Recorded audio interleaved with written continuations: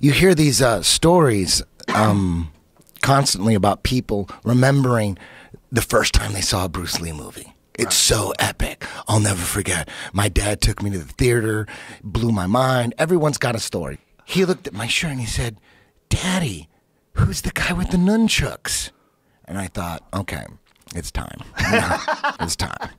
I sat him down and I and I explained to him. I go, the master of the nunchucks, and it's Bruce Lee. He's number one. He's the greatest martial artist of all time. I broke him and I sat him down and I, I put him in front of the TV and I wanted to show him the greatest fight scene of all time Bruce Lee versus Chuck fucking Norris.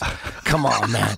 He needs to know who wins the fight. So it's like, Daddy, does Bruce Lee win? I go, he always wins, son. He always wins.